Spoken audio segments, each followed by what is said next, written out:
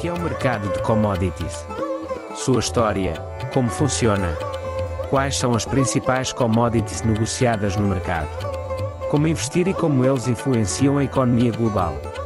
Tudo isso neste blog, a não perder. Boas leituras!